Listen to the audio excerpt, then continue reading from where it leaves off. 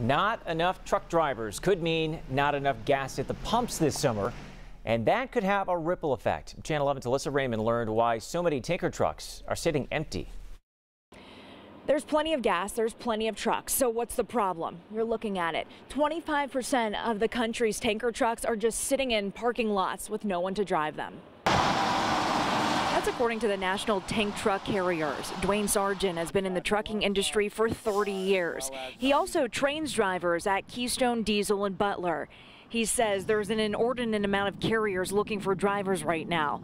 The trucking industry has been dealing with a shortage of drivers for the past five plus years now. When the pandemic hit and the demand for gas fell, drivers left the industry. Driving schools such as Keystone Diesel also got shut down, halting the pipeline of new drivers, making the shortage even worse. And now that demand for gas is back up and is expected to continue to grow as we head into the summer travel months, the industry is scrambling to figure out how to get the supply to gas stations and other customers. On average, we'll probably get at least two calls a day saying, hey, we're looking for drivers. Uh, it's I, I laugh and joke about it and said if I had a vending machine and could produce them, boy, we'd be retired by now.